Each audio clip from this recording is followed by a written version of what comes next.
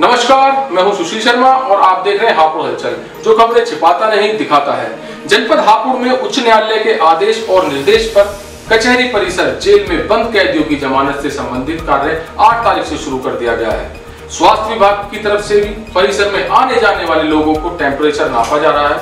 इस संबंध में हमारे संवाददाता दीपक कश्यप ने बार एसोसिएशन के अध्यक्ष ठाकुर धर्मपाल सिंह से बात की तो उन्होंने बताया, उच्च न्यायालय के आदेश और जिला न्यायालय के निर्देश पर सोशल डिस्टेंसिंग के तहत ऑनलाइन कार्य किया जा रहा है। इस दौरान जेल में बंद कैदियों की दाखिल जमानत में संबंधित पुराने केसों में ऑनलाइन सुनवाई याचिका न्यायाधीश महोदय द्वारा की जा रही है। इसके लिए एक कोर्ट में अधिवक्ताओं के लिए व्यवस्था भी की गई है।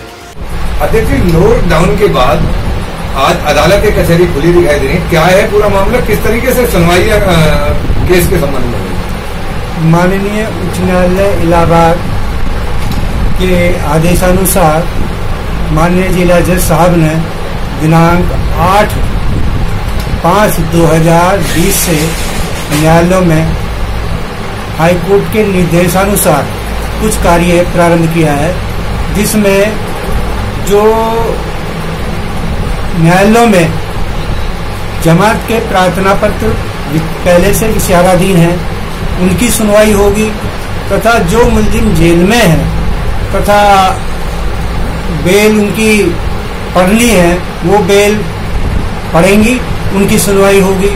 तथा सीजीएम कोर्ट में जो नए मुलजिम आ रहे हैं रिमांड के उनकी सुनवाई होगी। सोशल डिस्टेंसिंग को लेकर क्या प्रोग्राम किस तरीके से प्लानिंग तैयार की गई है?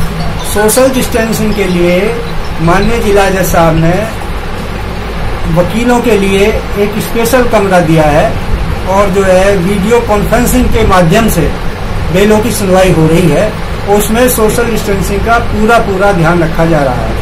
अच्छा जो हमारे अधिवक्ता पूरे शहर में जैसे लॉकडाउन है आ रहे हैं जा रहे हैं उनके लिए क्या व्यवस्था एसोसिएशन ने की उसके लिए हमारी बार एसोसिएशन हापुड़ जिला जज साहब से मिली और जिला जज साहब से हमने प्रार्थना की कि जो हमारे लॉकडाउन में जो वकील हैं अधिवक्तागण हैं और वहाँ हैं उनके आने के लिए क्या सुविधाएँ हैं तो उन्होंने हमें विश्वास दिलाया कि हम वो अपना आईडी कार्ड उसको दिखावें और आईडी कार्ड दिखाने के बाद में पुलिस उन्हें जो है भेज देगा।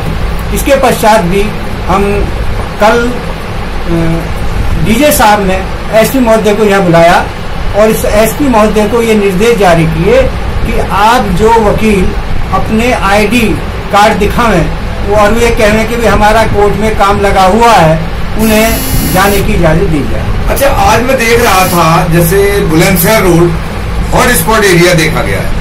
उस क्षेत्र से एक अधिवक्ता आ रहे थे पुलिस ने उनको रोका। उसके लिए क्या व्यवस्थाएँ हैं? हॉट स्पॉट क्षेत्र की। हॉट स्पॉट क्षेत्र के लिए भी यही सुविधा है। सब डीजे साहब ने एसपी महोदय से ये कह दिया है और उन्होंने अपने जो कर्मचारी गण हैं उनको निर्देश दे दिए हैं कि वो जो वकील हैं और अपना आईडी दिखावें कि मैं वकील हूँ।